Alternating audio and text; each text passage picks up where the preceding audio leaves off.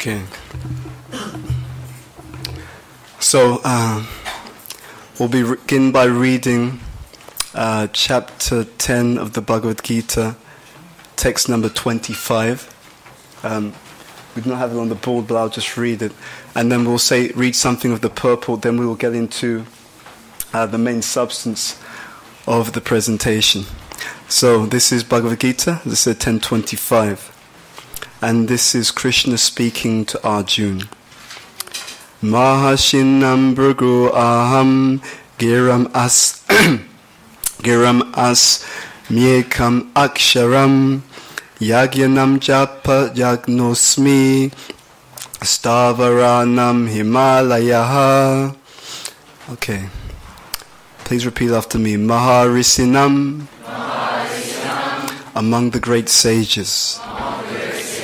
Bhriguhu, Bhrigu. Aham, I am. Giram, of vibrations. Asmi, I am.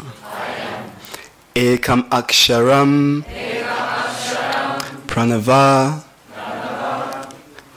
Actually, let me say that again. Ekam Aksharam, Pranava. Yagyanam of sacrifices. Japayagnehe chanting. Asmi I am. Stavaranam of immovable things. Himalayaha the Himalayan mountains. Translation and purport by His Divine Grace, Srila A.C. Bhaktivedanta Swami Srila Prabhupada, Srila Prabhupada Ki Jai. Of the great sages I am Bhrigu, of vibrations I am the transcendental Om, of sacrifices I am the chanting of the holy names Japa, and of immovable things I am the Himalayas. Purport. This is 1025. Purport. Brahma, the first living creature within the universe, created sev- several sons for the propagation of various kinds of species. Among these sons, Bhrigu is the most powerful sage. Of all the transcendental vibrations, the Om, Omkara, represents Krishna. Of all sacrifices, the chanting of Hare Krishna, Hare Krishna, Krishna Krishna, Hare Hare, Hare Rama, Hare Rama, Rama Rama, Hare Hare, is the purest representation of Krishna. Sometimes animal sacrifices are recommended, but in the sacrifice of Hare Krishna, Hare Krishna, there is no question of violence. It is the simplest and the purest. Whatever is sublime in the world is a representation of Krishna. Therefore, the Himalayas, the greatest mountains in the world, also represent Him. The mountain named Meru was mentioned in the previous verse, but Meru is sometimes movable, whereas the Himalayas are never movable. Thus, the Himalayas are greater than Meru. Okay. Sorry? Meru. It's Meru. Okay, so please repeat after me. Of the great sages, I am Bhrigu. Of vibrations, I am the transcendental Om. Of sacrifices, I am the chanting of the holy names Japa. And of immovable things, I am the Himalayas. Okay. Omagyanatimirandasya Gyananjana Shalakaya Chakshu Militam Yena Tasmai Shri Gurave Namaha. Sri Chaitanya Manobishtam Stapitam Yena Bhutale.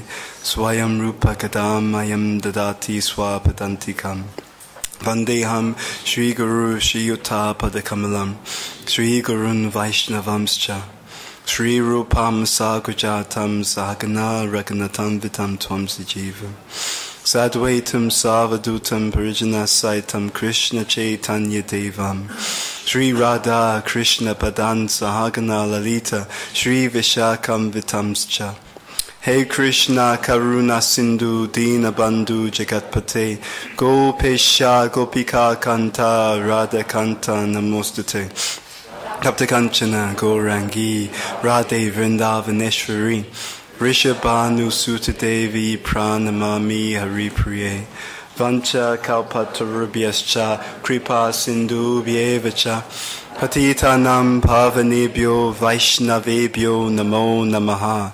Shri Krishna Chaitanya Prabhu Nityananda. Sri Advaita Gadadara Shri Vasadi Gaura Bhakta Vrinda. Hare Krishna Hare Krishna Krishna Krishna Hare Hare. Hare Rama Hare Rama Rama Rama Hare Hare. So we begin by begging the blessings of His Holiness Candramauli Maharaj, His auspicious presence can uh, make everything auspicious. And also we beg your blessings as Vaishnavas, Vaishnavis, um, so we can say something that will be pleasing to the Guru Parampara on this particular topic. So, let's see how, how we can frame this. So we are engaged in this, in this activity of sacrifices and the chanting of the holy names. And Prabhupada in this purport is saying the um, of all sacrifices, the chanting is the purest representation of Krishna. Uh,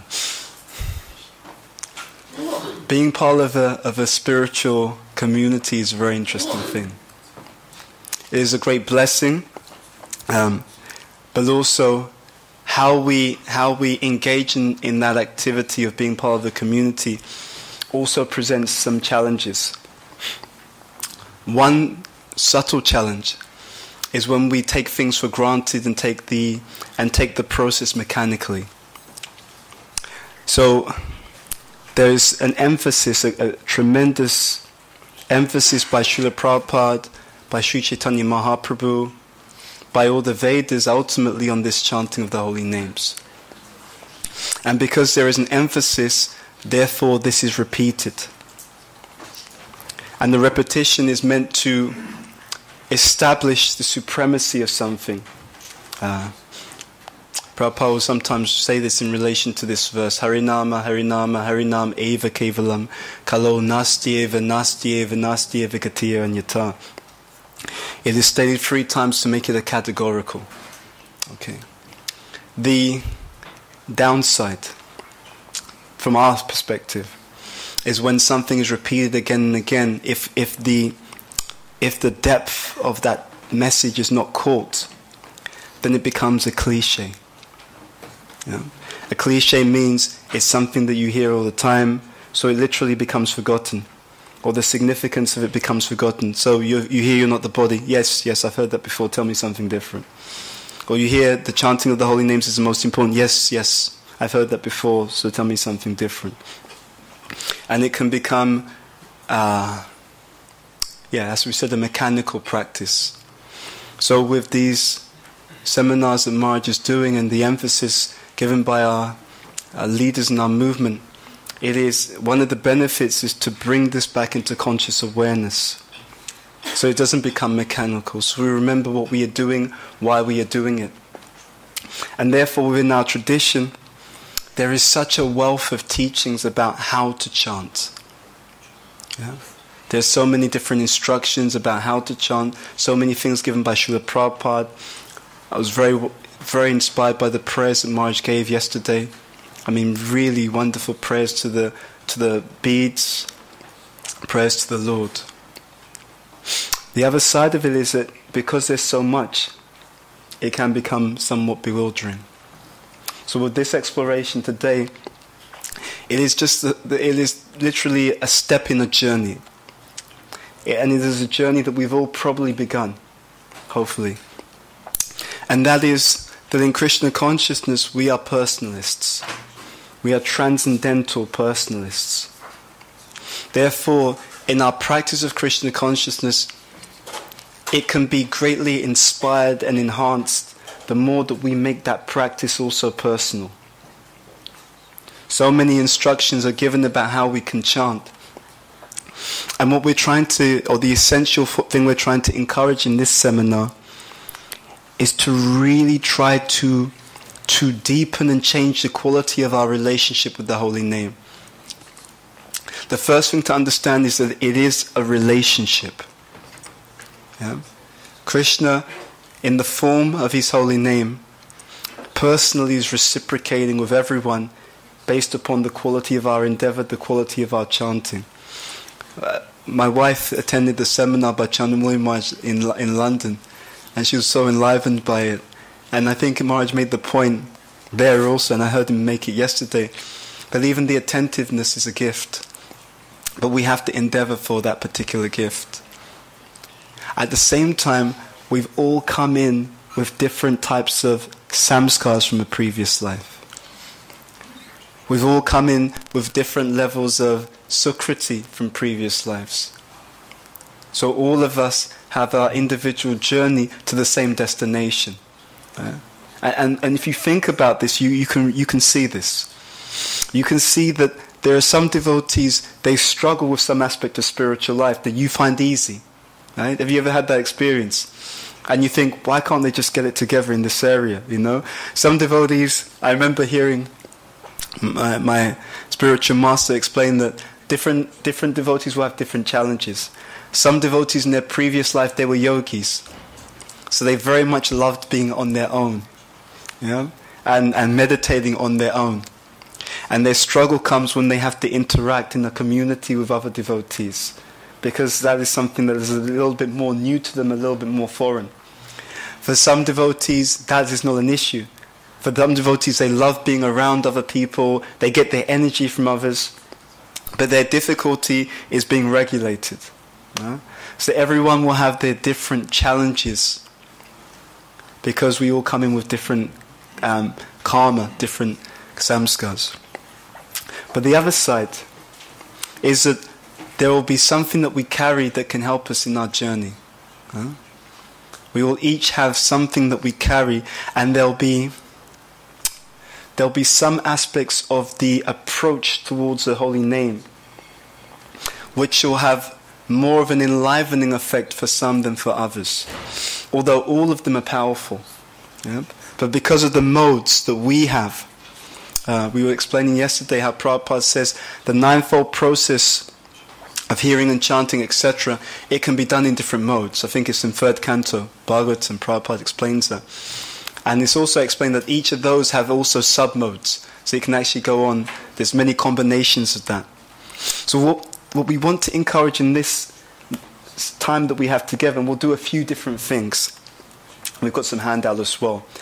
Is we want to encourage you to try to really, really try to do something that we don't do so well in our movement. I was going to give a seminar, I'm still working on it, called Seven Habits of Highly Effective Devotees. And I was reflecting on some wonderful, I mean, Maharaj is an ocean of realization. You know, some wonderful points that Maharaj has made over the years in different seminars. And that one of the things that we see, he was, Maharaj was explaining many times that if we have the mood that we just have to finish our 16 rounds, he said, then you'll never become a serious chanter of the holy names. Yeah. And it was a really powerful point. And I was trying to reflect on what Maharaj was saying. And a few things came to mind. Because I, I, I shared the point with, uh, in London with a group of devotees. We were doing some, some discussions on the chanting. And there was some agitation. One of them made a point after one of the exercises we're going to do today. He said, but we have to because you know we have so many other things to do, etc., etc. And it got me thinking how also the chanting, especially in our beginning stages, also um, is going to be accessed based upon how we arrange our lives so that we can actually chant properly. Yeah? In other words, if there's a lot of passion, it sometimes can interfere with our ability to sit down and really give our minds to the chanting. In this respect, I, I also recall a seminar, no, it was a class it was a morning class given by His Holiness Tamal Krishna Maharaj. This was in London. on Radhastami 1999. And he said that he feels that practically everyone who comes to our movement has the ability to make it all the way in terms of Krishna consciousness. He said, but in many cases we don't. And he, and he said something which I really, which always left an impression in my mind. He said, but in many cases that we don't. He said, I don't think it's because they get the, um, the devotees get the chant. Um, he said, I don't think it's because the devotees get the chanting wrong. He said, however, when the devotees aren't correctly situated, their minds become disturbed, and that's what makes the chanting difficult. So when we chant Hare Krishna, the ability to access the holy name is enhanced by being in a mindset which helps us to understand what we are doing. So the chanting is also going to be connected to the way that we are living and the modes, the modes that we are allowing to come upon us. When the society is very much in the mode of passion or the mode of ignorance, one of the things that's lost is reflective thinking. A society which is too much running around, just trying to get stuff done, then we hear but we don't hear. Pasyana pina pashiti. So we hear the scriptures but we don't really hear it because I'm thinking about something else to do. Jai Shishi Panchatattva ki jai. Shishi Gonitai ki jai. Shishi Shri Guru Parampara ki jai. So what we want to do is try to reverse that. And one of the ways to reverse that is to is to remember the four stages that we're meant to be considering in our spiritual life. So I'll go through those four. And then also what we're going to try and do in the seminar is make it very interactive and very reflective. Okay, as I said, it's just a step on the journey. But the idea behind this is uh, we want you to try and really think what helps you to chant attentively. Okay? What different approaches to the holy name that are given by our acharyas? What particular circumstances help us to chant attentively? We know that that's the goal. We know that the goal is to chant Shuddhanam. We know the goal is to call out the names of the Lord as Prabhupada said, as Maharaj repeated yesterday, to chant like a, like a child calling for their mother. Okay? How are we going to make this journey to really develop a relationship with the holy name? A strong relationship to the point that when we chant, we really feel enlivened by the chanting and we really relish the chanting of the holy names of the Lord. Okay? That's what we're trying to achieve. So the four stages in terms of really trying to imbibe something, really trying to imbibe something, is first Shravana. So we read from third canto, and there's a point that Prabhupada made in that purport, I think, well, the verse we read yesterday, and Prabhupada was saying that knowledge begins by hearing. Okay? So the first stage is Shravana. But the difficulty that we have is often that that's where it ends for us. And that is a problem. Yeah? The second stage is manana. So with Maharaj's classes, everything that we read, we want to really think about it. What does this mean? What is Krishna? What is Prabhupada? What are they trying to say? When we, when we start to go on this journey, it starts to leave impressions in our mind. Yeah? Ultimately our entire process is to reform the, the consciousness and to bring it back to Krishna consciousness, Cheto Darpana Marjanam, to cleanse this mind. So the second stage is we've heard something, but now we have to actually think about what I've heard. You know, what does this actually what does this actually mean? What is being said about the holy name? And we'll do a little reflection on one of the verses that Maharaj mentioned yesterday because if we if we look at this carefully you'll feel a very you'll feel a shift. You'll feel something different about about our teachings. The third stage is we try to test drive something. So we put it into practice. So i actually do it. And i get a feel for what it's like to do this. Now um, there's a fourth stage that's sometimes mentioned and that's vandanam because with all of our endeavor we endeavor to hear, we endeavor to meditate, we endeavor to apply. But for the perfection of all things in spiritual life, we need the mercy. And so we are calling out to the Lord, please, I'm going to try But ultimately, unless you give your mercy to me, I'm not going to be able to do this. So please be merciful unto me. Please see my endeavor and please bless me with the perfection of that endeavor. So Shravana, Manana, Nididyasan, Vandanam. Okay? So as we go through the rest of the seminar, we really want to encourage you to think about what this means for you. We'll see. I'm, I'm conscious of time. I'm going to make sure I finish at 9 o'clock, and that's a promise. That's no problem. And like I said, the, the essential thing is to make the journey. We're going to start by reading. Yeah. I'm just going to read one of these verses from the handout that Maharaj gave us yesterday. And don't worry if you can't see it, but what we want you to do is hear. Okay? What we want you to do is hear what we're actually saying. And then we're going to have a reflective discussion on this, on one of these wonderful verses. Let me just see if there's something else I'm going to take. Okay.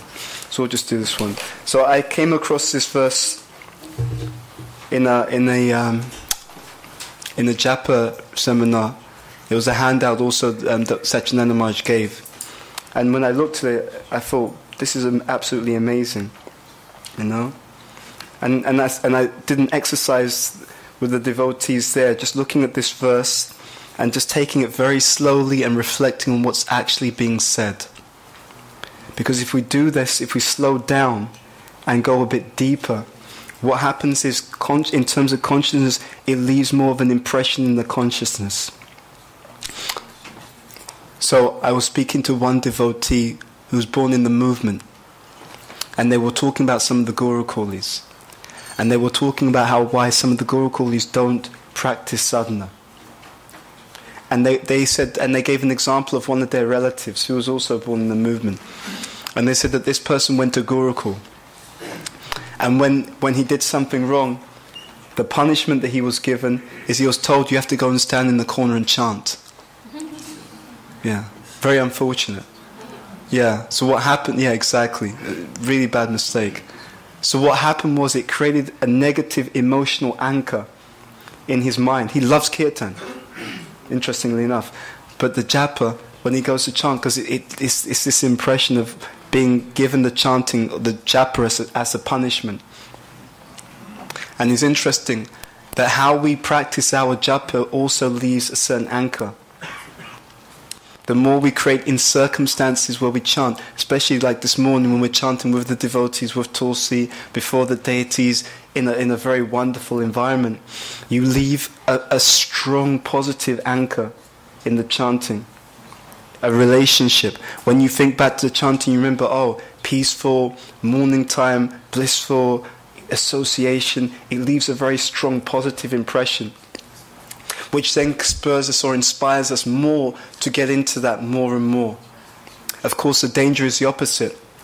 If we're always, and, and I've been guilty of this, if we're always chanting and we're between things and it's something I've got to get done and, and, and it's something I've got, I've got a million other things to do, what's the impression that we leave in our consciousness with regards to the chanting?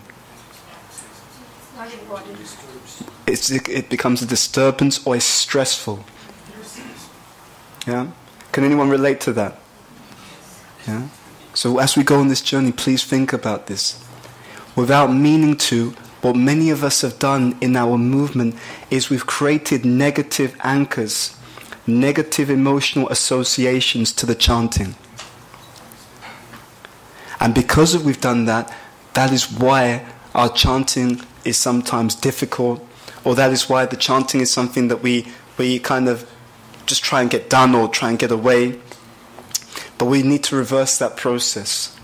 And the prayers, the sanghas, all of these things are to reverse the process because the chanting objectively is blissful. But if we cover it with a mundane consciousness, we won't understand what it really is. Yeah? So behind this is a second point. Ah, let's stop there. And let's do this as a reflective exercise. Let's just stop there. I want you to think about yourselves personally. When you, and, and this is something I'm going to ask you to write down or make a mental note of, you do not have to share this with anyone else. But, but if we're going to transform and improve our chanting, we have to begin by, by acknowledging where we are. That is one of the reasons why humility is so powerful. Because when we're humble, we just see, yes, I'm fallen, I do this wrong, I do that wrong, I do this wrong. It's not, to, it's not to make us feel bad, but it's to recognize our actual position so we can take the next step forward. So, for your reflection, I'm just going to give you literally one or two minutes. I want you to write down or note down or think, honestly speaking, when you feel when you when you think of chanting your japa, how are you actually thinking and feeling about that practice? Yeah? So just start there. When you come to chant your japa, how do you think and feel about it? Is it something that you love to do? Is it a chore? Is it a burden? Is it something that you're inspired to do? Just start there. Just make a note. How do I honestly feel about chanting my japa? Yeah? Let's just start there. Just your own reflection. How is, what's your emotional connotation or association with the chanting of the holy name in japa? Not kirtan, but japa specifically.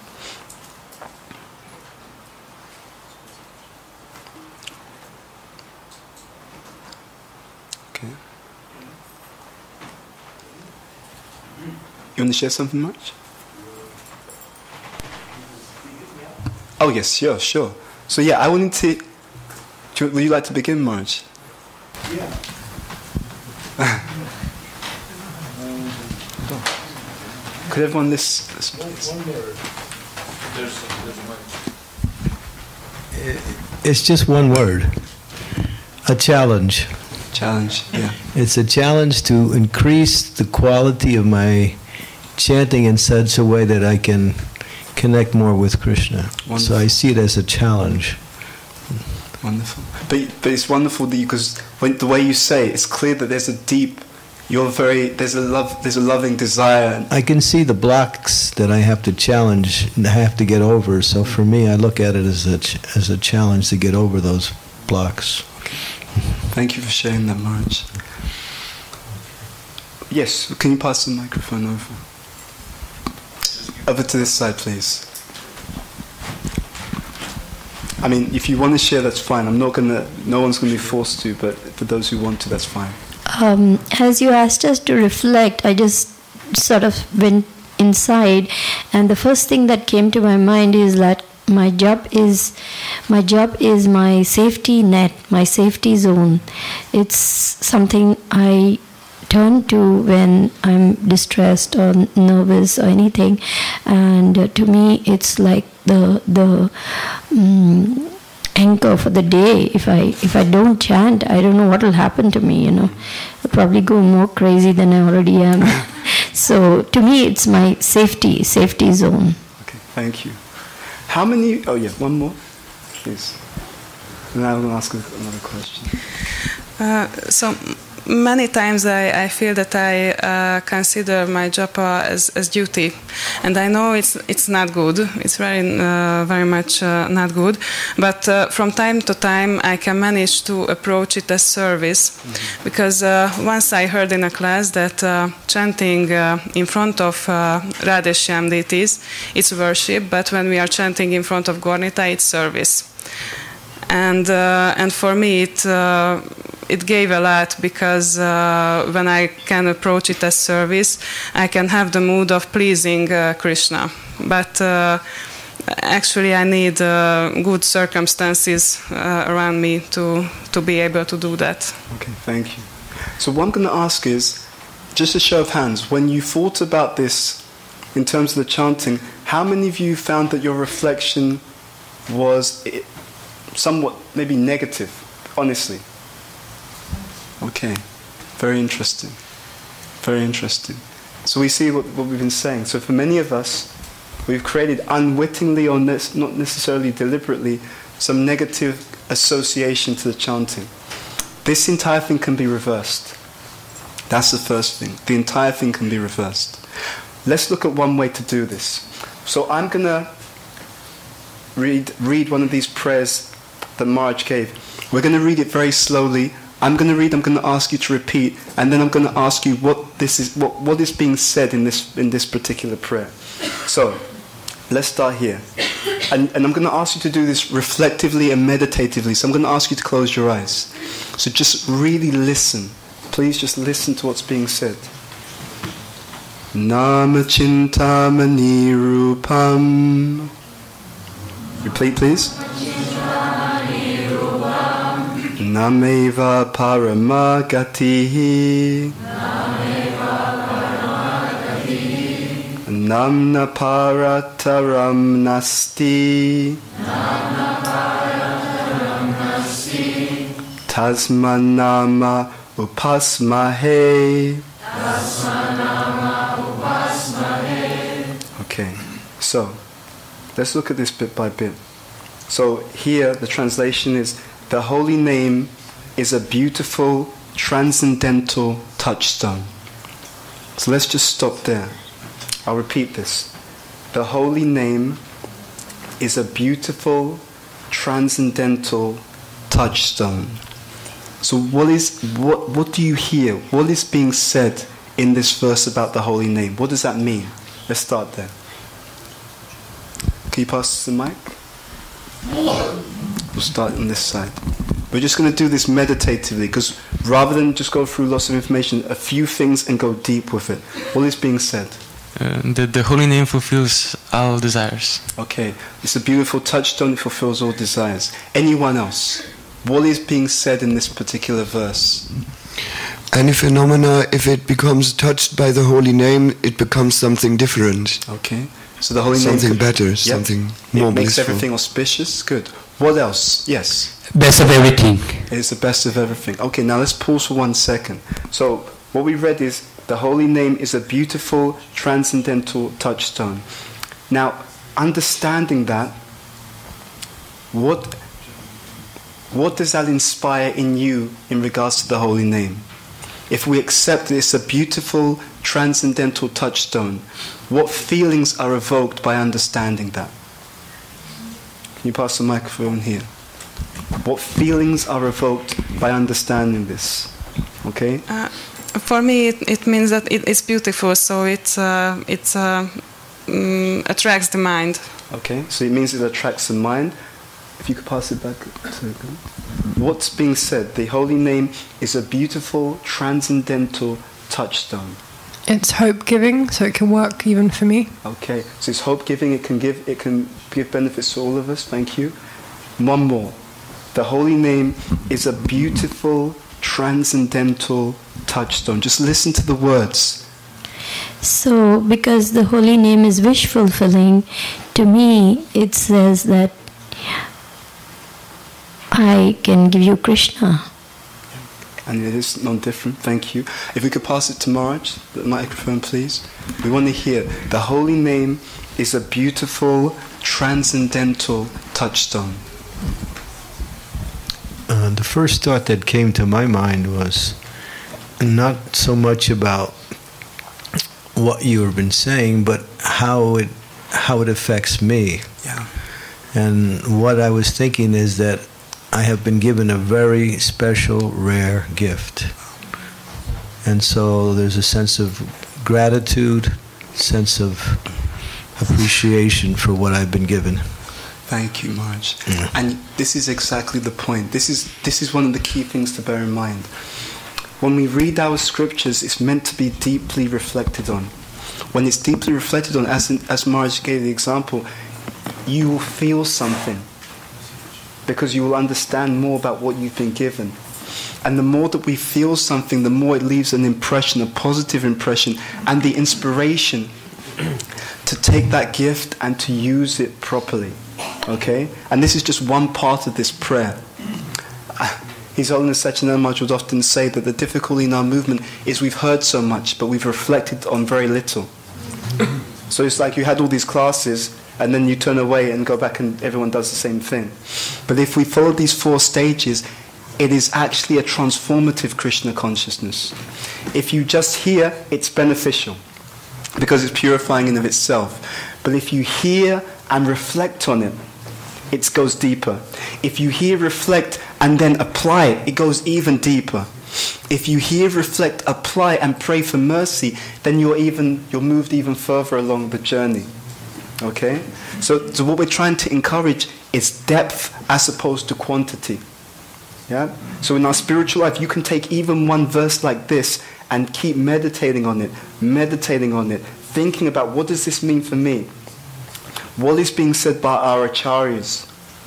What, is, what are they telling me about the holy name?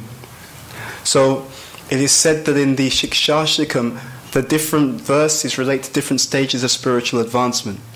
And the first verse, Param Vijayate Sri Krishna Sankirtanam, it explains the opulences of the holy name. And our acharyas have explained that that first verse relates to Shraddha. And it's interesting how they explain the connection. They explain that by understanding the benefits of the holy name, it gives one the faith to chant. Because you understand how great and how auspicious this is, and all the wonderful things that will come by the chanting. Yeah? Now it's very interesting also the Goswamis have, have explained that faith gives two things virya and smriti. Virya means drive or determination, smriti means remembrance. So think about that. If we understand these verses properly, our determination to chant, our inspiration to chant actually becomes stronger. Hmm? But it's not about so many things, but take the teachings, even a part of it, and go deeper and deeper and deeper and deeper. Let's take another line of this. So I'll read the first part and, and go further. The holy name is a beautiful, interesting words that are used. A beautiful, transcendental touchstone. It is the supreme goal. Okay. It is the supreme goal. What do you understand by this? The holy name is a beautiful, transcendental touchstone. It is the supreme goal. If we could pass the microphone. It's. Okay. Different direction. Um, if we chant, um, we don't chant to reach a goal. We chant because we have reached the goal. Okay, good. Now let's just take that a step further. If the holy name is not to reach a goal, but if the holy name is a goal, if, if we really deeply accept that, how will that change our, our chanting? If I accept that the holy name is the goal rather than the means to something else, how will it affect my chanting? Attentive. What else? Satisfying. Prioritizing it, satisfying. Yes, because there's nowhere else to go. It's not that you do it, as Mara just saying, it's not that you do it so you can get to something else, but this is the highest activity that we're doing. It is interesting. You, you can actually tell what the members of our movement believe about our, about our process by what they do. What we read in the class is one thing, but what people believe is demonstrated by what they do. So, in many cases, we don't believe it's the supreme goal, which is why it becomes something else while we run into something else. You see, and again, by the meditating on this, we can rectify that. Let me take it a step further. The holy name is a beautiful transcendental touchstone. It is the supreme goal. There is nothing higher than the holy name. Isn't that interesting?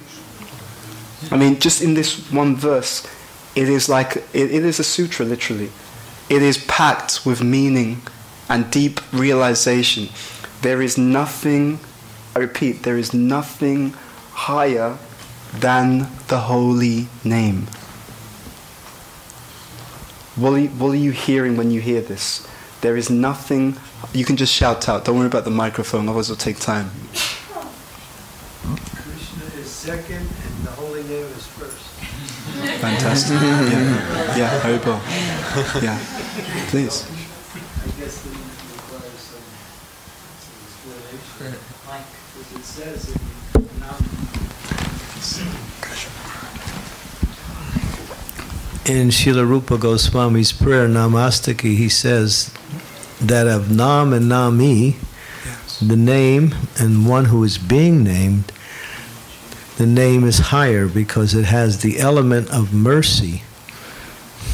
So if you commit offense against one who is being named, it's only the name that can relieve you from that offense. Mm-hmm. So there's an element of mercy that's in the name that is not necessarily found in our connection with Krishna in other any other forms. Thank you very much. Yeah. And just to kind of round off, because it's nine o'clock, and I promised I would, I would stop on time. But just let me just, I just want to pause you and just close this off. How does it feel to take to take this approach? Do you feel that it's a different approach to the way that we normally look at the teachings? Yeah, it's one part of it, but then you go deeper and deeper and deeper, and you can do this individually or reflecting with a friend. But we want to encourage you for the for your entire spiritual life. We've actually heard so much, but our problem is that we've not digested. We've, we've digested hardly anything. Yeah. So with these teachings on the holy name in particular, we encourage you take a little bit and be reflective. What are you being told about the holy name? And the more that we reflect on it, the more it's going to leave a deeper impression in our consciousness. And the proof of that is we will start to see ourselves move, move more towards the holy name in our spiritual journey. Really, the rest of the, of the slides was just going to look at some of the different approaches. And I know Maharaj knows of these. For example, just focusing on one mantra at a time like that. So what we did to the, the, the slide exercises was one is just chanting one mantra at a time and then stopping for a moment and just reflecting. How does that feel when I chant this? And let me write down what are my realizations when I take this approach. Yeah, one activity was going to be. Prabhupada made the, they made the comment, just try to hear yourself chant sincerely. Okay? So you actually practice this as a meditation. I chant and I try to hear myself sincerely chanting. What does that feel like? And again, you stop. This is not this is not the normal japa that we do. This is meditative, real mantra meditation. And you stop and you and you just think, how did that feel when I chant like this? When I when I do this, what was the experiences? Another approach would be using the, the prayers that Maharaj gave. I used these this morning. It was wonderful. To be honest, it was absolutely wonderful. Very, very blissful. You know? And so just when I do these prayers, but, but most of all behind this the truth of the matter is, we want to encourage you to try and chant in the mode of goodness. Try and create a space in your life so when you're chanting, it's not, it's not a chore, it's not stressful. It's not, I've got to get this done because I've got a million and other things to do. You will know what's going to make that work. But we want to encourage you, make a space in your life so you can actually do your chanting and it's not painful, it's not negative. Because the more that you do that, the more that you will be able to experience everything that the scriptures are saying about the holy name. Okay? So the journey is to create that space and to try the different teachings of our acharyas about the holy name. Bhaktivinoda Thakur says when you're chanting, you can be before the deity and look at the beautiful form of the deity while you're chanting. It will work in different ways for different people but look for what's going to help you to be absorbed in the chanting. The more that you find the personal approach that really inspires and energizes you to be absorbed in your chanting, then your spiritual life can really take off with taste. Yeah? So for work, what we do is I, I work with leaders and managers, and I often ask them, what keeps you energized in your, in your role as a leader? So we are going to ask you something similar. Where do you gain your inspiration to chant? What keeps you energized and inspired in the process of chanting? Because if you are able to pinpoint these things and do more of them and do it often, you've just tapped into a great source of inspiration and energy that can keep helping you in your journey towards the holy name. Okay? Okay. So forgive me for going over because I promised that Mataji came to me earlier and said I should because they need to organize for the sacrifice, for the yagya, for the initiations. But did you get the main point? Yeah. So there's two things. One is the main thing about what helps you, and two, let's do our, let's do our spiritual life properly. Let us make it an actual meditation. So it's something that we relish and go deep with, and it does require some sacrifice. In some cases, we're going to have to move some ways of the, some part of our lifestyle around. To be very honest, because for some of us, our lifestyle is so stressful and in the mode of passion and ignorance, to, you won't be able to chant properly. Yeah, and it's no. I'm, I, I've also been in that situation. I completely know what it's like, but we we got to try and move in that direction. It cannot. if it, the chanting's done properly, it will displace other things. Actually, if the chanting's done properly, you will actually start to adjust other areas of your life because you want to chant properly. That's a sign that we're moving towards the goal in the proper way. Yeah. So anyway, again, forgive me for going over, but we're going to stop there because otherwise I'll be in trouble. okay.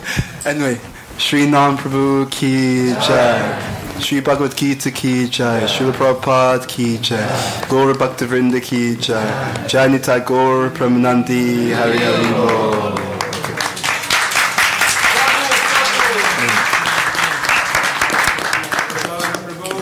Wrote this prayer? So, Who wrote this prayer? Maharaj, I, to be honest, I don't know. I'll see. Satyananda Maharaj gave me this prayer, but they didn't have the. Um, Sorry, I gave it away. No, no, no. assembled Vaishnavas and Vaishnavis. So we're going to go a bit further along the journey that we began this morning. Um, how many of you were not here in the morning for morning class? I just want a show of hands. Okay. So what we'll do is we'll begin by recapping some of the things that we discussed. So we're all up to speed and go forward from there. So we began this morning by reading Bhagavad Gita, chapter 10, text number 25. In that particular verse, Krishna is talking about many things, but he says, Of sacrifices, I am the chanting of the holy names, japa. And in the purport, Prabhupada is speaking about how the Hare Krishna Maha Mantra is the pure, um, purest representation of Krishna. It is not different from Krishna. So then we started to look a little bit, and I want us to go into this discussion a bit more. And, and I think we should make it very much interactive. Maybe I'm conscious also that when we use the, the microphone, it may slow, slow things down. So what we'll try and do is we'll try and do this without the microphone. But what I'm going to ask you to do is speak nice and loud so that everyone can hear you. And the reason why we're going to take this approach is based upon a premise that we shared this morning. And that is that as an international society for Krishna consciousness, we hear so much. And that is wonderful. But we, we want to take it as deeply as possible. And one of the ways in which we, we're meant to take it deeply is to really follow through on some of the stages which are given in our literatures. It, it is a fact that within our movement, often we don't really understand what we've been given. And because we don't understand what we've been given, we don't really value it properly. And, and these four stages are just one simple example. So one Prabhupada disciple who was interacting with educationalists in the outside world, he shared with them these four, four stages. So Shravana, that we begin by hearing knowledge. Manana, what we hear, we really take the time to reflect upon that. Nididhyasan, once we've reflected upon it, we start to pull it into practice. We start to tangibly do something, act on what we've learned. And Vandanam, Vandanam means prayer. So we understand the first three stages are around our endeavor. We're making an endeavor to connect with the teachings of Krishna through hearing, meditating on Krishna's teachings, and pulling Krishna's teachings into our own practice. But the fourth stage is really calling upon the Lord for mercy. I'm going to make the endeavor, but unless you give me your mercy, I will not be able to be perfect in what, in what I'm trying to do. Because what I'm trying to do is to develop or rediscover my dormant, loving relationship with you. So it's a relationship. That means that there are two people involved in that relationship. We can, we can try to pursue Krishna, try to engage in a relationship with Krishna, but he has to, by his own sweet will, reciprocate with that relationship. So when this devotee was sharing these four stages with these educationalists, they were flabbergasted. They said it's a brilliant framework for education. The reason why it's a brilliant framework for education is because when we, when we act in our spiritual life in this way, it is increasingly transformative. How many of you in this room know a devotee or know devotees who have been practicing for, this, for a long time and they haven't really changed much? Anyone know devotees like that? Okay. Anyone know devotees who you think are a bit stuck in their spiritual life? Be honest. Okay. It's actually good because if I ask this question in London, a lot more hands go up, which is interesting. Yeah. Yeah, to be very honest. But it can happen. And there are a number of reasons. One of them is that we often fail to digest the philosophy. And through these four stages, we're meant to digest the philosophy. Then we also mentioned this morning how Krishna consciousness is really a mission. It's a missionary activity as well. The mission of Sri Chaitanya Mahaprabhu is to spread the teachings of Krishna consciousness to every town and to every village. So there's a lot of activity. But with the activity, there also must be depth. And sometimes we have a culture where it can be easier to run around doing things than to actually really develop your Krishna consciousness, internalizing it. Yeah? So sometimes it's easier to do that, and you can get all the prestige from the devotees. Oh my God, they've done this, they've done that, they've done this, they've done that. But at the end of the day, when we look at our level of Krishna consciousness, it may not be so strong. So what we then wanted to do, and what we were doing with, the, um, with one of the prayers that Maharaj shared with us yesterday, was we were doing a prayerful reading. Just like if you want to relish a meal, you take one, one mouthful after the other, but you don't just throw it into your mouth and swallow. You take it. In, in ancient cultures, this was what was done. In ancient cultures, there was no such thing as eating food. It was really about honoring the Lord's grace. So the activity was done in a very meditative state. The person would sit down properly, make sure that they're calm and peaceful. There would be no disturbing discussions at lunchtime because it was understood that when you have talks on very disturbing subject matter, it also affects the digestion. And then in that meditative state, the food will be served very nicely in a very sattvic environment. And then one very peacefully, bit by bit, is honoring the remnants of Krishna's own plate. And Prabhupada would often do that as well. He would sit in that space and just really relish Krishna in the form of prasadam. But Krishna's prasadam is everywhere because everything in this movement is a, is a manifestation of Krishna's mercy. So in a similar way that we do that with the food or with the yeah with the foodstuffs which have been offered, we can do that with our philosophy. Yeah, we can take it bit by bit and really digest it. What is Prabhupada saying? What is Krishna saying? How do I understand this? How do I apply this in my own life? And the more that we do that, the more depth we have in our Krishna consciousness. The more depth, and also the more transformation that we can experience in our Krishna consciousness as well. So there was one particular verse that we were using this morning, which I will bring out. And we were going through that verse step by step, just to read through and, and, and to really meditate on what is actually being given to me by our teachings. Because the idea being that it, the verse was like a sutra. A sutra is almost like it's like wisdom that's packed up into one really short seed-like form. And then by your concentration, the seed is starting to blossom and unfold, and everything that was packed up in the seed starts to unfold before us. And the idea is that when we do this with our teachings, we can have tremendously greater depth in our Krishna consciousness. Okay, so this was some of the ideas.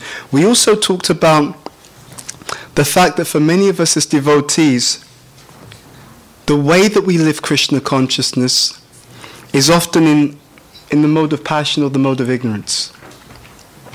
We gave the example of one person who was born in the movement. Well, this is a slightly different point, but we also talked about one person who was born in the movement. And when they would do something wrong as a young boy, his punishment was that the parents would tell him, go and stand in the corner and chant Hare Krishna. Yeah, so very unfortunate. So as a result, he has well, the situation has created what we call a negative emotional trigger for that person. Whenever he reaches for his bead bag, it's that negative experience. It's that experience of shame, correction, chastisement, and then we're trying to get that person to feel inspired in their chanting of the holy names of Krishna. Now, that's an extreme example. But many devotees have that, have that challenge because of how we've positioned the name in relation to our life. Okay? And we ask devotees just to, a show of hands, we ask devotees, when you, when you come to chanting your japa, how do you feel or what comes to mind? And for many devotees, it was maybe a bit of stress, something I've got to do. You know, it's so different emotions, the different experiences. But we also shared how ultimately the holy name is blissful. So what we're trying to do in our practice of Krishna consciousness is to uncover the holy name in its pure form. To reconnect with the holy name as it truly is. And, and we, we were having just a Q&A before the class. So there are also quite a few devotees here who are new or young. So it's also a very, a very, um, it's a good opportunity to protect your chanting, to protect it with very good habits, so that these things don't become an obstacle in the first place. Okay. So, what we also discussed this morning, and where we're going to take this class, is that we all come in with different types of karma because we've all had different previous lives. We all come in with different types of natures, different mentalities. And that's a blessing, but it can also be a challenge for the devotees. Because when we're in community with devotees, everyone has their unique nature, personality. What's easy for one person may be very difficult for the other person. And because we're very unique individuals, we may not understand each other. Why do they have to be like this? Why does she have to do that all the time? Why can't she be more like me? Why does Prabhu have to do this? Why, does, why doesn't he behave like this? And this can be the source of sometimes conflict or misunderstanding amongst devotees. Ultimately, Prabhupada says, Atmavat manyate jagat. He says, everyone sees the world from their own perspective. Now, the other side of that is that because we are individuals, different things will enliven us, especially as we come forward in our chanting of the holy names. And what we wanted to do for this session is, be, is take a step on a journey. And that is the step on the journey of finding out what things help me to be absorbed in my spiritual practice of chanting. Okay? Our acharyas have given an extraordinary range of teachings, different techniques, and different practices that can help us to move forward on the journey. That's a great blessing, but it can also be, be overwhelming. Because we may sometimes think there's so many different things I can do, but you know, says this, and then another, you know, one of the Goswami says this, and then someone else says this, and there's this prayer, there's that prayer, there's this to read, there's that to read. Where do I begin? In one sense, it's really ultimately about what's going to inspire us. So we wanted to have a few, we wanted you to do a few interactive things, a few practices to get a feel for different things, but this time in a very meditative and reflective way. So we're going to try a few different approaches to chanting. We're going to start though with a guided meditation. Okay? And this guided meditation, anyway, I'll do it, and then I'm going to ask you a few questions about what you experienced also afterwards, because you may find this quite interesting. So, before we start chanting, I'm going to ask everyone to sit up straight.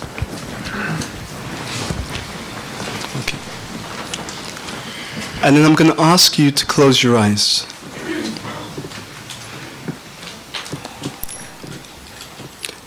I'm just going to ask you just to spend some time just with your eyes closed.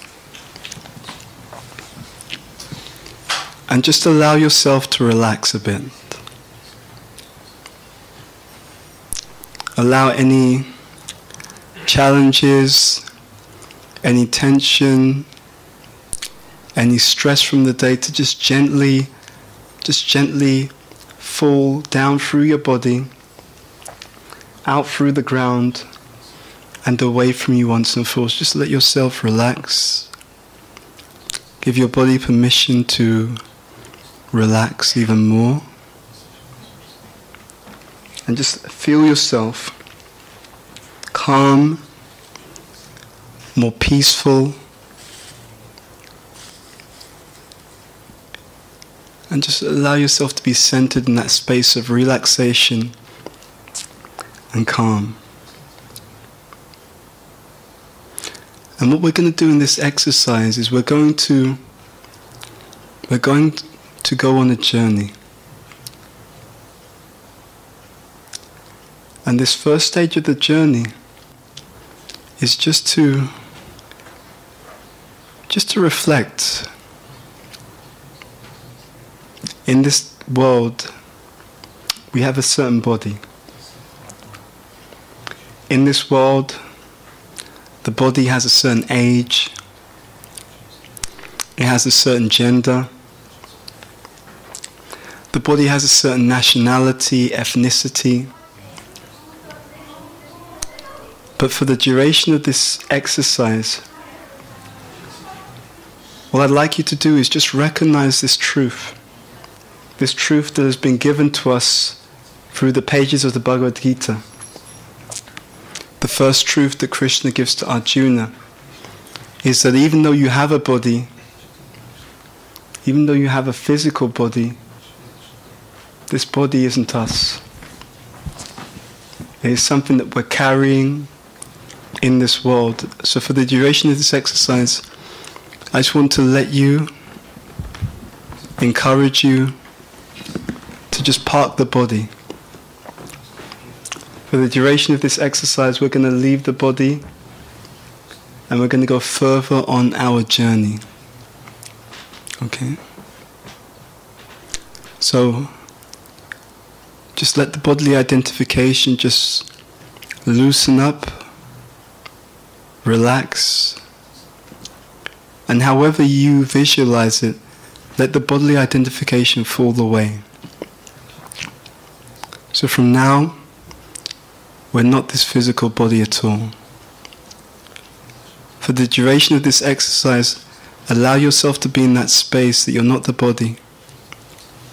And because you're not the body, you have no responsibilities as a man, father, protector,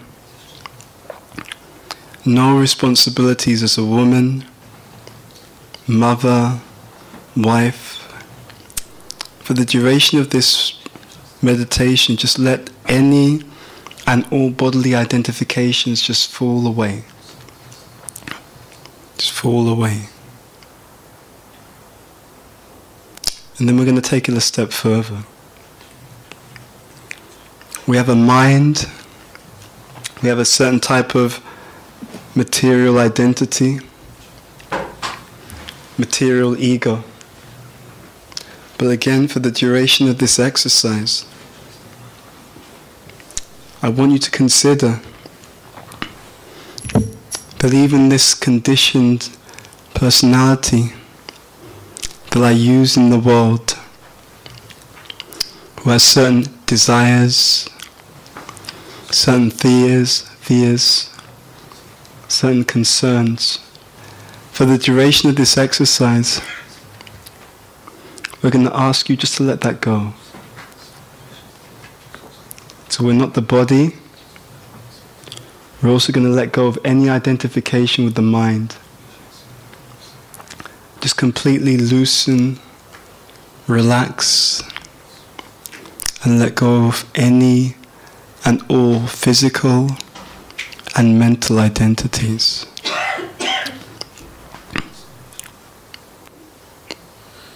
And I'm going to ask you to connect with the deepest understanding that in this room, each and every one of us are exclusively, and therefore I mean only, an eternal servant of the Supreme Personality of Godhead. So I just want you to let yourself settle in that identity. We've parked the bodily identification. We've let go of the mental, emotional, psychophysical identification. Just let them go. And we sit in this room exclusively as eternal servants of Krishna. So you need to allow yourself to be comfortable in that, in that realization.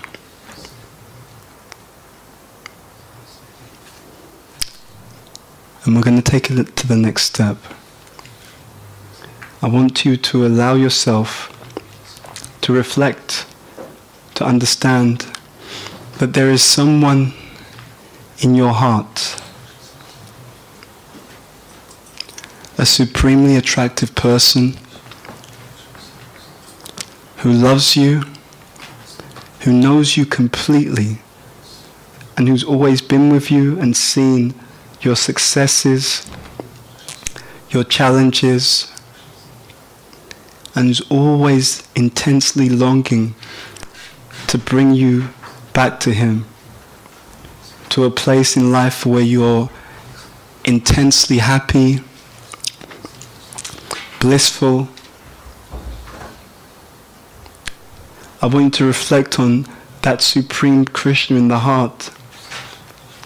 And I want you to reflect on the time that He came through for you. A time where you needed help, you needed something, and He arranged it. He helped you in some way, shape, or form. And I want you to connect again with how it felt when you remembered how Krishna had reached out to you and helped you, protected you, gave you some kind of insight or blessing. And I just want you to connect back again with that time. And I want you to connect with whatever positive feelings that were in your heart when you remember how Krishna lovingly touched your life, lovingly manifested to help you in some way, shape, or form. And as you connect with that,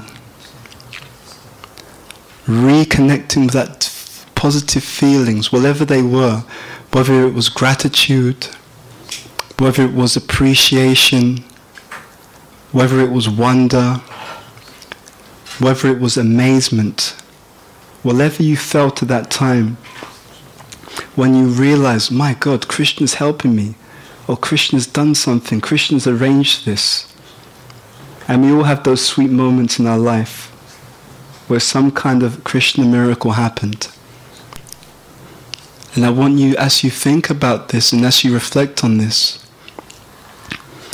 at the count of three, I'm going to ask you to chant Krishna's names, but this time connecting with that feeling, that remembrance that's alive in your heart. And we're going to do this for a few minutes and then we're going to move on to the next thing.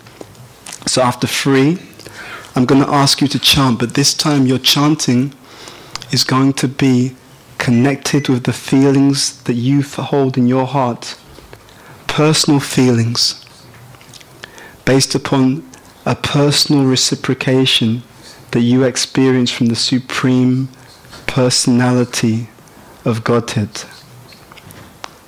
I'm going to ask you to chant based upon the personal feelings that you have for Krishna, based upon the personal way in which he reached out to you, helped you, and showed his affection and presence to you. And we'll chant for a few minutes and then we'll reconvene at the count of three. One, two, three. Please chant. Hare Krishna, Hare Krishna, Krishna Krishna, Hare Hare, Hare Hare Hare Hare. Hare Krishna, Hare Krishna, Krishna Krishna, Hare Hare, Hare Hare Hare Hare. Keep your eyes closed and keep connected to that feeling that you have for Krishna. Remembering how Krishna really helped you personally. something he did for you personally. And based upon that, chant his names with the feelings that you have for him, based upon how he came into your life and helped you.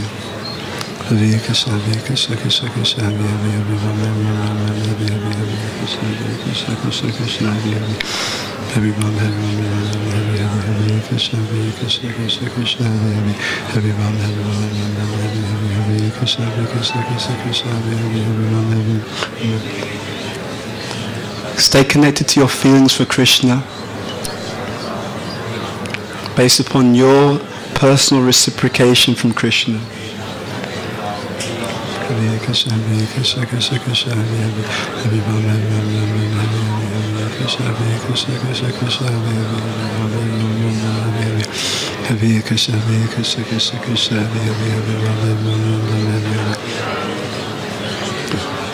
Chant from your heart based upon your personal feelings for Krishna. Hare Krishna, Hare Krishna, Krishna Krishna, Hare Hare, Hare Krishna, Hare Krishna, Krishna Krishna, Hare Hare, Hare Hare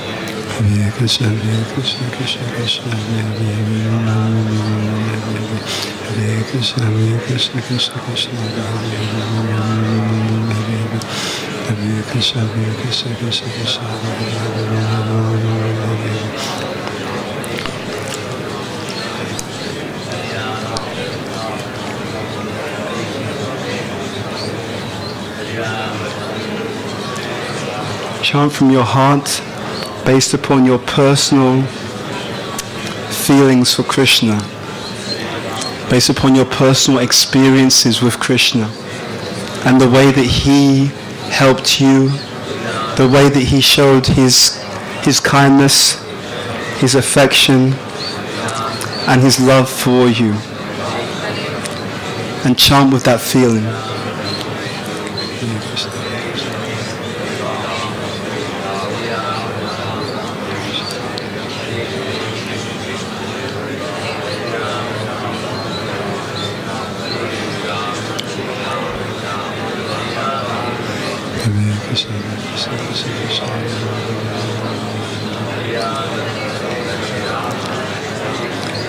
Chant from your heart.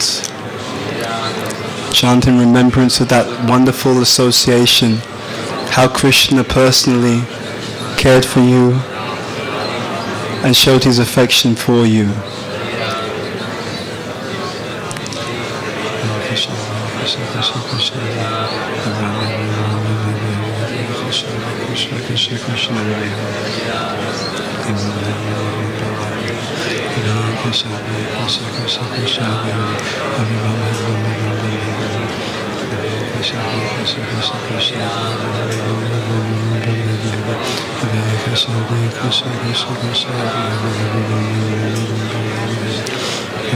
In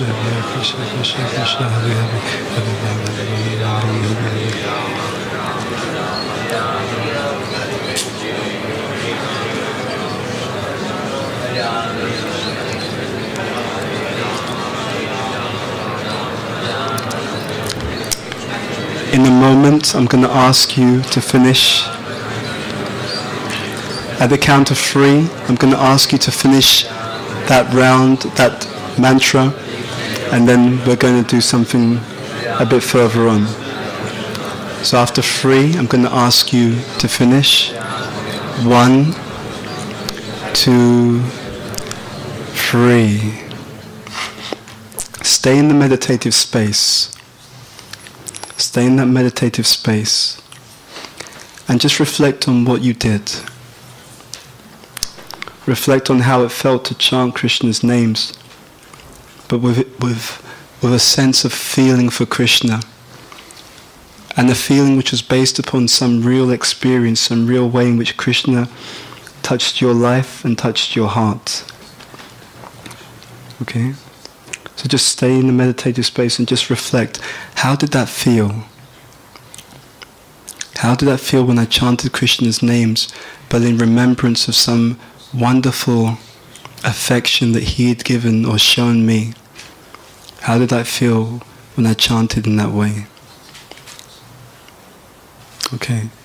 And I'm going to ask you to open your eyes.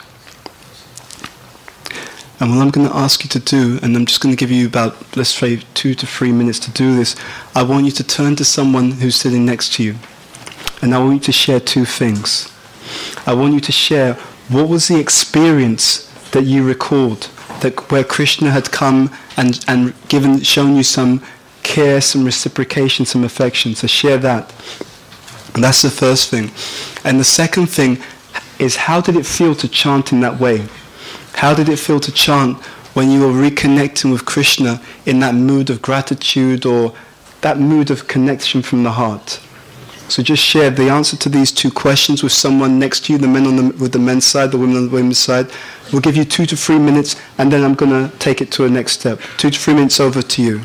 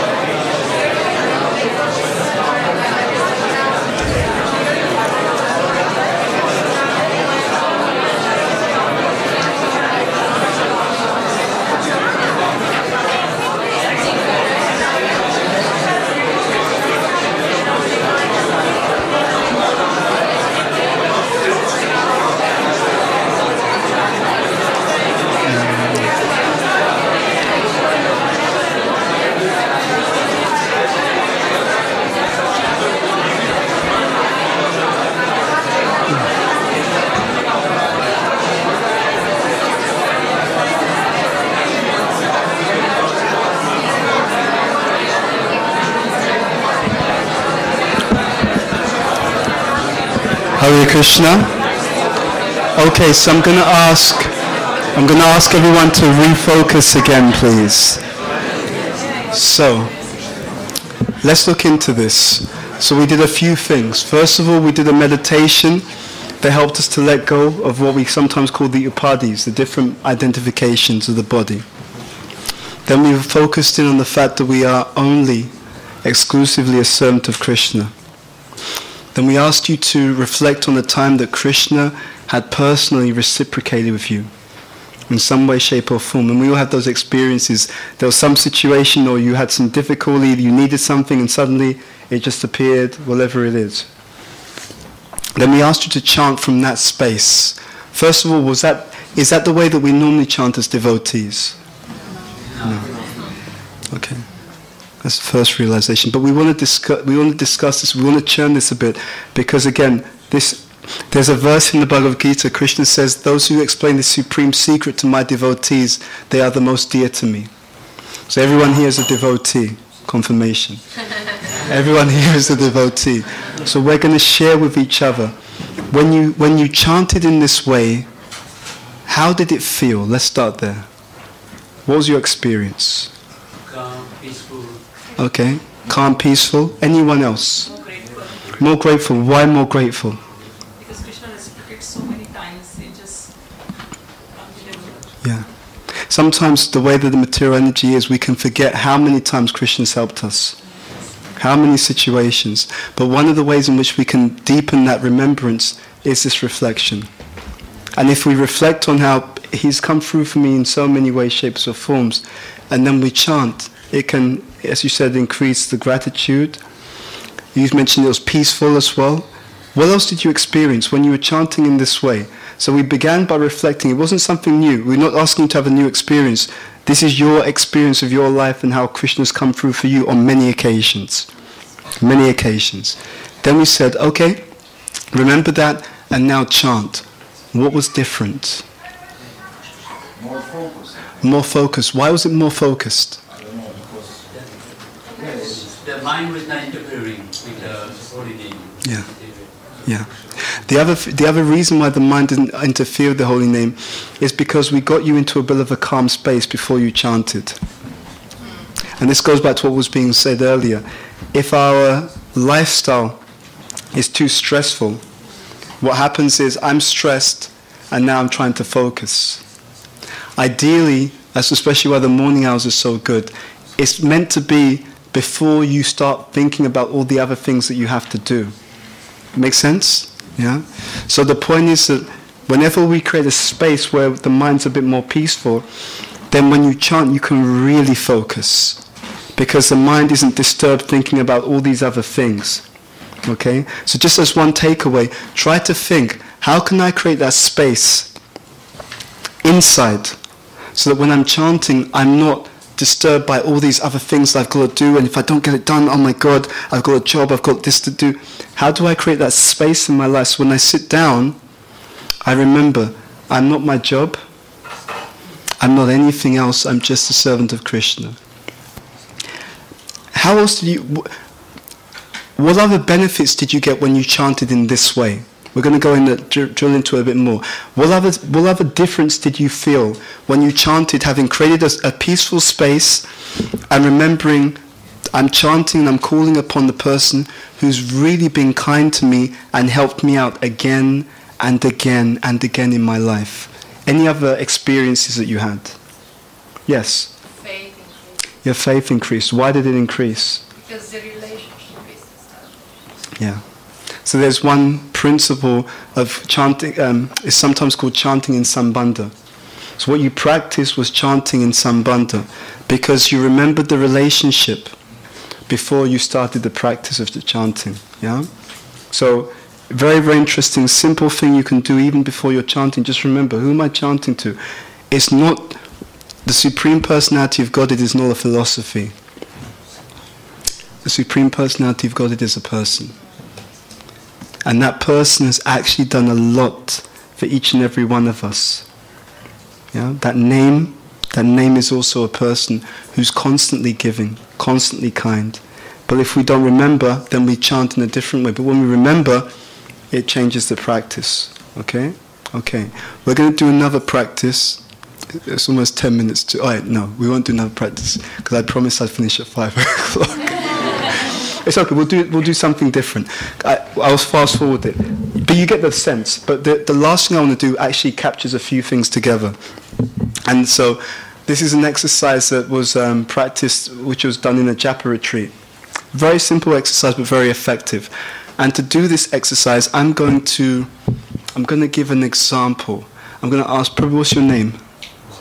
Maha, Mahaprabhu Gora. I'm going to ask you if you don't mind to stand up and come to the front. Okay.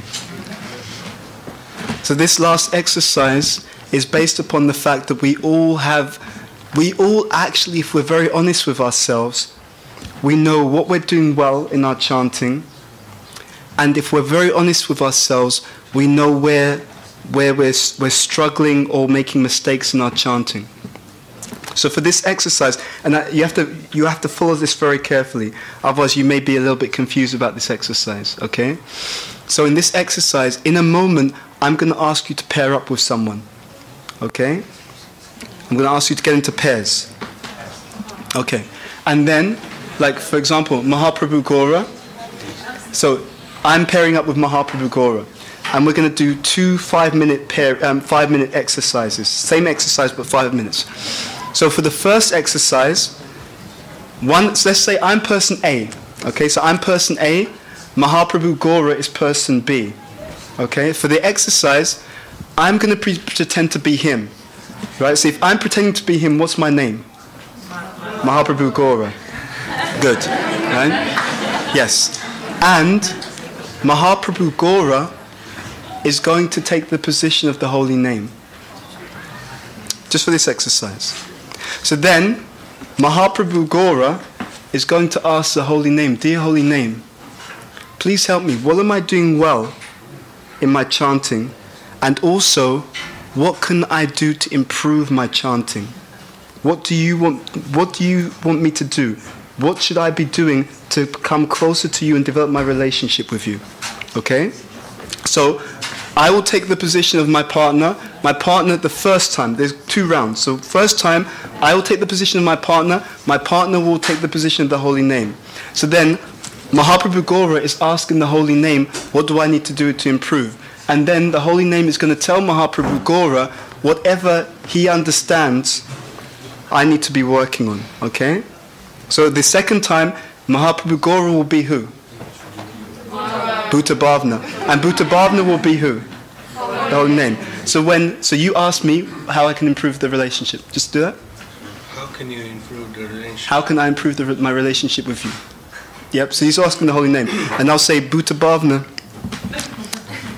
What I see you doing well is I think that it's good that you're doing more seminars on the on the holy name, because this will help you to understand better how to improve.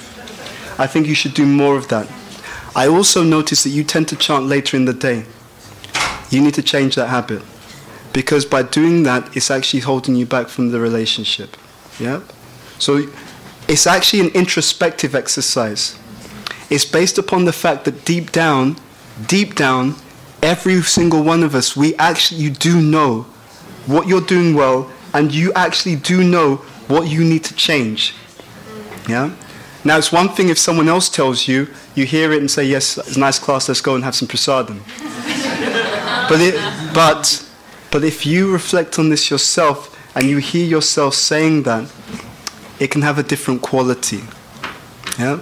So, the whole idea of this exercise and all these exercises, we're on this journey of transformation. Okay? So, the idea is you're going to pair up It'll be about three minutes each way, and please make it three minutes because otherwise I'll get in trouble. No, I'm joking. But uh, yeah, but three minutes each way. But you pair up, and three minutes one way. So first of all, Mahaprabhu Gora. Sorry, the holy name is telling Mahaprabhu Gora what he can do to improve, and then three minutes, the holy name is telling Bhuta Bhavana what he can do to improve.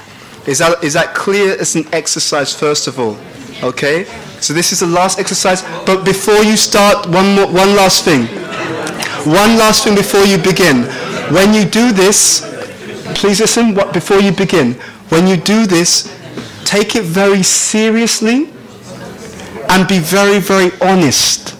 Be very honest in what you're sharing, and anything that you hear, make a mental note or write it down. Okay? So, whatever you learn from the exercise, make a mental note or write it down, and try to make one or two of those changes to bring yourself into a closer relationship with the Holy Name. Okay, over to you for the next six minutes.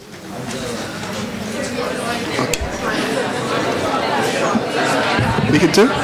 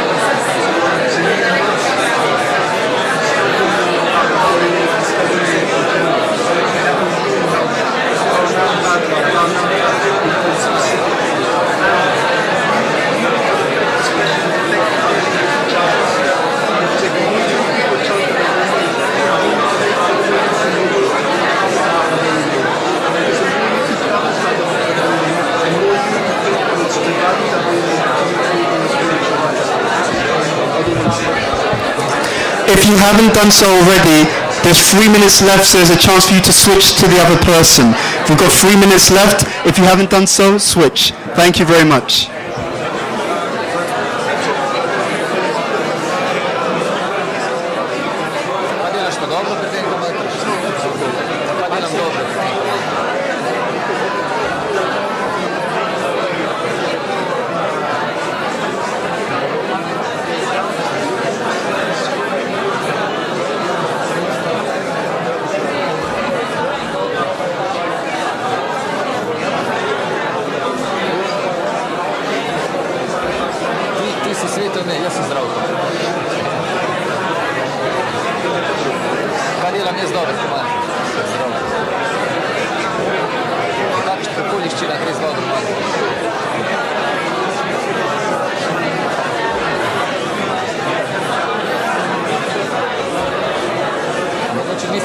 Da preveč službe včasih, da se da nimam časa se niti spočiti, pa kaj početi, kar zdaj sam rad delam.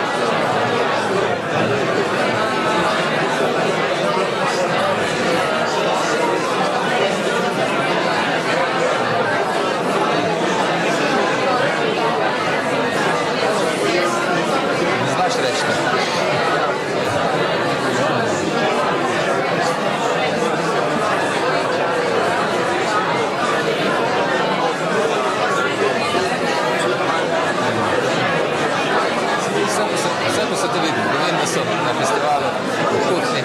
Все, все. Все, все. Це, то, є, то є, хвала Богу, де так.